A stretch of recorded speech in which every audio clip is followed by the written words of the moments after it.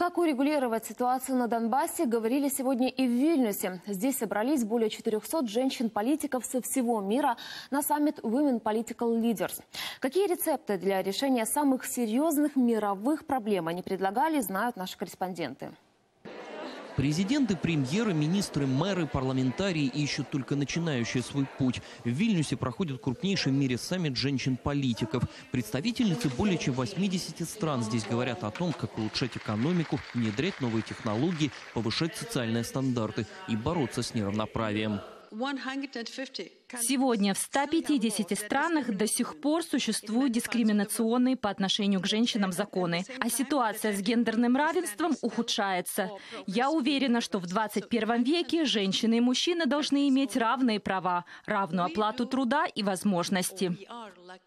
Среди участников саммита женщины, которые давно стали примером для тысяч. Это президенты Хорватии, Мальты и Непала, премьер-министр Румынии. Украину представили народные депутаты и вице-премьер по вопросам европейской интеграции. Один из главных тезисов саммита – объединять усилия. Четыре года тому назад на нас напала соседняя страна, которая выступала гарантом нашей безопасности. Цель этой атаки не только Украина. Ее цель – наши общие ценности. Это вызов для всех нас. И я уверена, то, через что проходит Украина, ни одна страна не должна проходить в одиночку.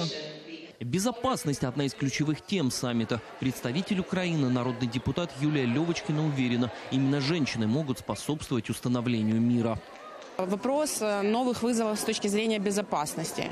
Э, мы это прекрасно ощущаем в Украине, э, что конфликты теперь уже не прямые, не только вооруженные. Есть информационные конфликты, есть вопрос ложных новостей, есть вопрос кибербезопасности. И мы это на себе ощущаем каждый день. И, безусловно, мировой опыт, мировой пример ну, нам нужно не просто перенимать, нам надо активно участвовать. Участие женщины в разрешении конфликтов очень важно.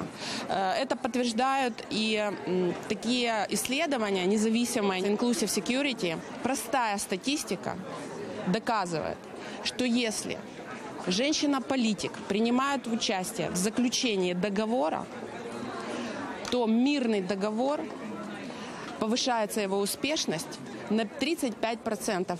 То есть мир держится более 15 лет. В Вильнюсе украинские депутаты подняли тему ситуации на Донбассе.